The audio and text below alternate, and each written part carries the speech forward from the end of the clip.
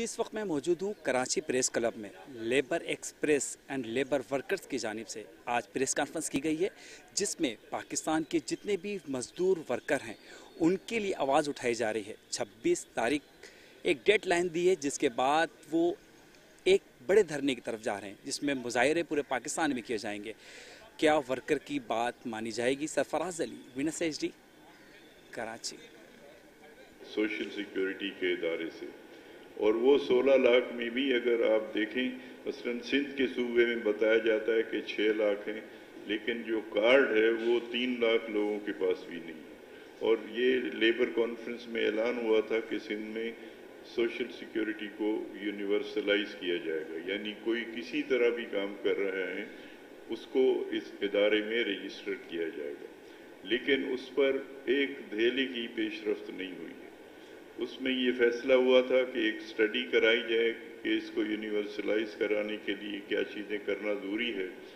तो एक मुल्क के जाने पहचाने इकोनॉमिस्ट से बात हुई, उन्होंने ज़िम्मा लिया। लेकिन उस इदारे में बैठे हुए एक एहलकार ने जो 18 ग्रेड के हैं, ये तय किया कि ये स्टडी नहीं होनी है। और वो स्टडी आज तक नहीं हुई है। उसके लिए एलोकेशन तीन वजीरों की कमेटी ने किया था। लेकिन बदकिस्मती से वो तीनों वज़ीर भी हैं। उनको भी कुछ आइडिया नहीं है कि उनके फैसले का हुआ क्या। आज तक ये नहीं हुआ, इसको तीन साल से ज़्यादा हो गए तो को आप शेयर करें और जिन इदारों में ई से लोग रजिस्टर्ड हैं, कम कम अज़ कम उन सबको तो सोशल सिक्योरिटी में ले आए।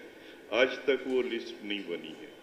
तो इसी तरह कवानीन में जो तब्दीलियाँ हुई अब यहाँ पहली बार एक कानून बना जो होम बेस्ड वर्कर को वर्कर तस्लीम करता है, जो घर में जिसमें ज़्यादातर खातन हैं, लाखों की तादाद में हैं, जो घरों में बैठ के काम करती हैं। काम वो बड़ी फैक्ट्रियों के लिए ही कर रहे होते हैं, लेकिन उनको काम घरों पे ला के दिया जाता है मिडिल मैन के ज़रिए, और उनको जो उजरत मिलती है, वो मिनिमम वेज भी नहीं होती।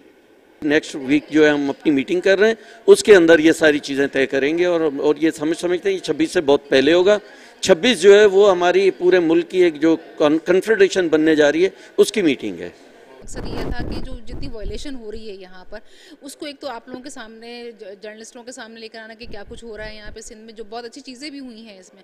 लेकिन इम्प्लीमेंटेशन किसी पे भी नहीं है। ना मिनिमम वेज जो है वो अब तक तय हो पाई है यहाँ पर, ना जो है वो आपका कोर्ट जो है वो आपको, आपके साथ खड़े होते हैं लेबर डिपार्टमेंट जो है वो रिश्वतखोरी सब चीज़ें इसके अंदर हैं। और जो मज़दूर है वो हर फैक्ट्रियों के अंदर निकाले जा रहे हैं, उनको पेंशन नहीं मिल रहा है, उनको जो है वो सोशल सिक्योरिटी के इदारों से उनकी रजिस्ट्रेशन नहीं है मिनिमम वेज तक उनको नहीं मिल रहा है, इस तरह की बहुत सारी हरसमेंट और ख़वान के साथ जो हराजगी है फैक्ट्रियों के अंदर। तो इसलिए बहुत मजबूर होकर हम ये जो है, ये फ़ैसला, ये कदम उठा रहे हैं कि जिसके अंदर हम सारे मजदूर जो सिंध के जितने ट्रेड यूनियन हैं, वो ये तय करेंगे कि हम किस एक्शन की तरफ़ जाएँगे। और हम, हमारा बिल्कुल ये है कि हम जो बजट सेशन होगा, उसमें जो है वो सिंध असम्बली का घिराव करेंगे।